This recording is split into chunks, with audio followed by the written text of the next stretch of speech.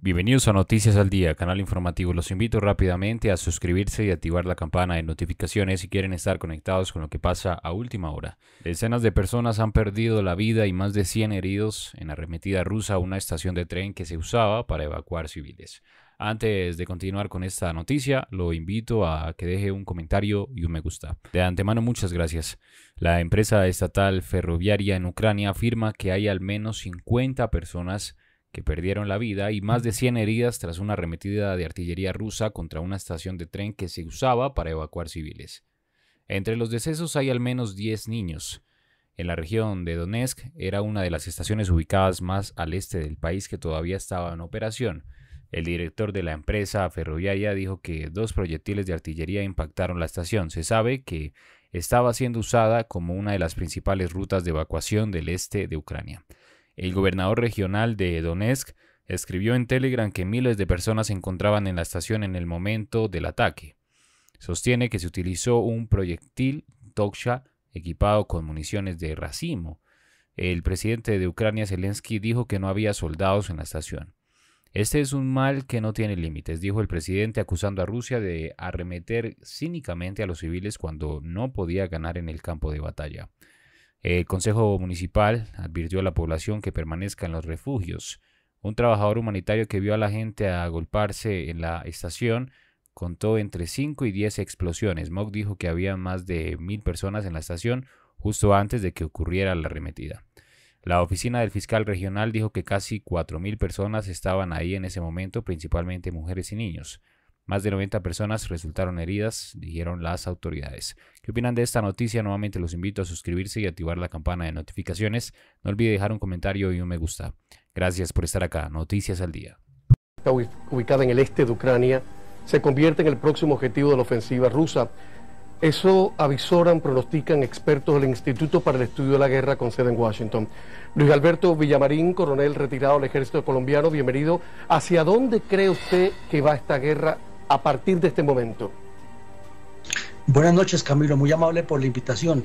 Eh, coincido con los señores del Instituto de la Guerra de Washington que el enfoque inicial, o sea, la próxima etapa, la próxima fase es hacia el este para golpear esta ciudad de Lovianska que se les ha convertido en el dolor de cabeza que le impide a las fuerzas rusas tener un camino expedito entre el norte eh, nororiente mejor de, Ucrania y el este para tratar de integrarlas y armar un solo corredor desde esa zona hasta el sur que llegue a Odessa y pase a Transnistria.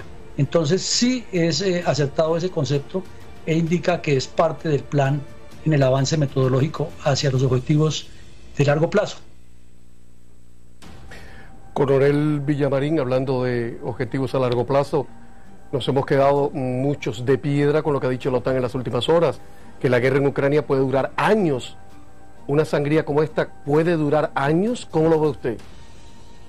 Sí, es cierto, Camilo, es cierto porque mientras Rusia no toque a los intereses sustanciales de la OTAN, no agreda a ningún miembro de la OTAN, ese de sangre, esa sangría, como usted muy bien la define, se va a acrecentar y aumentarán las acciones de los bombardeos, del terrorismo de Estado ruso contra el pueblo ucraniano, la destrucción de puentes, los ataques a los hospitales y la respuesta naturalmente será la especie de guerra de guerrillas con acciones regulares que ha venido haciendo eh, de manera muy efectiva el pueblo ucraniano. Y eh, el problema también es que hay unos terroristas chechenos unos eh, sirios, internacionalistas sirios, que se han unido ya a estas fuerzas, más los que vengan de Bielorrusia y de Kazajistán, a apoyar no la guerra normal, la, que, en la que le fue muy mal a Rusia, sino los combates irregulares, y entonces esto se puede alargar por mucho tiempo, a menos que Putin salga del Kremlin, que sería el paso inicial. O sea, está hablando usted de mercenarios.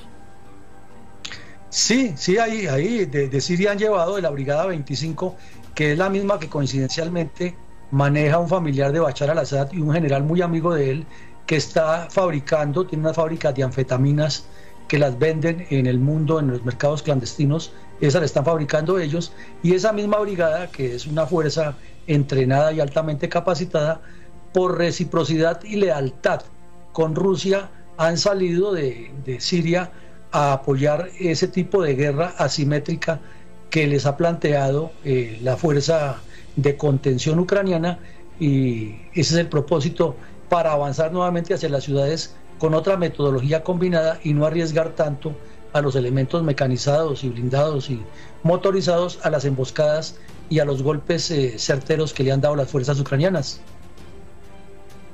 Oye, coronel, varios expertos consideran que las fuerzas rusas que se están retirando de la región del norte de Kiev son probablemente una fuerza gastada que ya dio de, de sí todo lo que iba a dar. Ahora explíquenos, una fuerza que está en retirada, ¿no deja de ser una fuerza peligrosa? Sí, Camilo, comencemos por explicarle a los oyentes que en los movimientos retrógrados, que es lo que está haciendo Rusia, hay tres eh, etapas. Una que llama la retirada, que es irse definitivamente del combate. Otra que es la acción dilatoria, que es eh, combates eh, sistemáticos para traerlo hacia un sector donde le sea el combate favorable. Y la otra es el repliegue, que es lo que hicieron en este momento. Y ese repliegue indica que van a hacer un replanteamiento táctico, estratégico, logístico, psicológico, porque estos soldados duraron tres meses en el frío esperando la orden para ir a combatir y luego se enfrentaron a semejante infierno, pues tienen muchos traumas y han visto caer a muchos compañeros.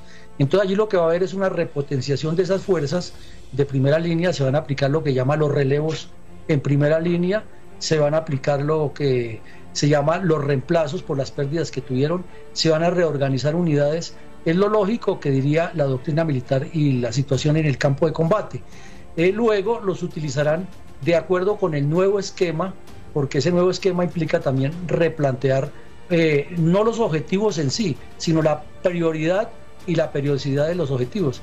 Y tener en cuenta algo que hablábamos en la semana anterior que estuvimos en este espacio, es que no les vaya a coger el, eh, el invierno sin haber tomado una decisión concreta con las líneas de comunicaciones eh, aseguradas para que estas tropas se mantengan abastecidas, porque por lo visto esto va a ser de largo aliento y Rusia lo que quiere es provocar a Europa, que Europa intervenga y combata dentro del territorio que le es favorable, eh, precisamente cuando llegue el invierno, aplicando la vieja táctica contra Napoleón y contra Hitler. La maldición de Napoleón con el invierno ruso.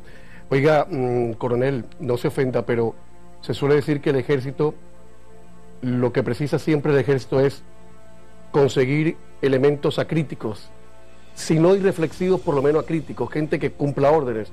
Mi pregunta es, ¿cree usted realmente que estos jovencitos que están, que, Putin ha enviado a, Ucrania y que, eh, que, han hecho tan mal papel porque se han, se, han comportado peor casi que los soldados de, de Genghis Khan, el mongol.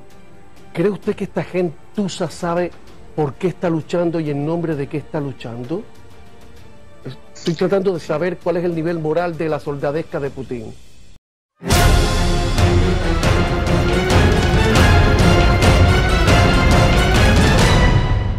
Si no te quieres perder de los últimos acontecimientos que pasan en el mundo, suscríbete y activa la campana. Somos Noticias al Día.